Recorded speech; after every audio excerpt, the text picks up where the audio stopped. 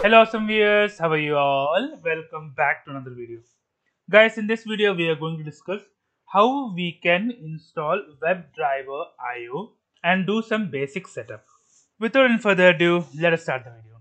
So guys, to install WebDriver IO, first let us start npm init of minus y. If you just give npm init, it will ask you all the questions to create packet.json if you just give minus y it will create by default. You can see package.json is created exactly the same thing. Here it has been done. So now next thing what we have to do we have to write npm init wdio webdriver io just click on enter. It should install webdriver io and its uh, at the rate types. See it has already started here. So webdriver io is initializing the project it will try to install the node modules everything you see on the left hand side everything should start. So you can see node modules has now started to create. So you can see it initialized the project. Now it is giving the message as success. So this one is very very important. This is WebDriver configuration wizard. This will create the config file with all the necessary things so first it is asking a project uh, DIO WebDriver IO is detected at this time. You have to give correct. You can give Y. Click on enter. So where should your test be located? So I want it in my browser or the local. So I want it to be in the local. So where is your automation backend located? So it's in my machine only.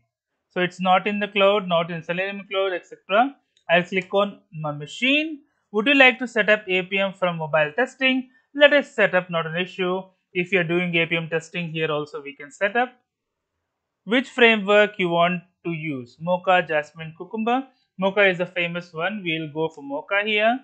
Do you want to use a compiler, uh, Babel or TypeScript? For the for the timing, I'll click on no. So, do you want WebDriver IO to auto generate some files? Yeah, uh, I'll give as give it as yes where should file be located? So this will be my path where the spec file should be there. I'll click on enter. Do you want this page objects? These are the page objects. Let me expand this. Do you want this page objects? Yes. I'll give one y. And where are your page objects located? So page objects star star star dot js that's all right so which one you want? These are all the reporters which are there, JUnit, etc. Everything is there, right? So for the timing, I, I need only Allure. Just click on space. I need spec. That's it. Anything else I don't need. I'll click on enter. So do you want to set this up? I don't want it. So I'll click on enter. Do you want to add a service to your setup? I want cross browser testing. I'll click on space I want Chrome driver, Gecko driver, I want Edge driver. That's it. I'll click on enter. So do you want to install everything? Yes. I'll give Y. Now it will start installing each and every service. It should not take much time. It, which, it is always based on your computer on the network connection. So it will try to create the test also for me. So everything got successful now. It is asking me to continue with Appium setup. We can give as Y if you want. You can give no if you don't want Appium setup for now. On the left you can see node modules have been created all the required types. There is a test also which is having an example file and also we have config.js. So it's asking for me to install. Yes, I'll write Y. To proceed, it's asking me to uh, install install Appium server. That is more than enough for now. This is just a basic setup.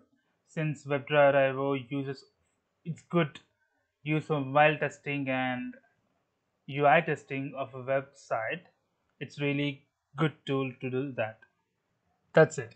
So we have installed Appium also. This is simple installation of the WebDriver IO. In the next test, we'll see how to run our first test case.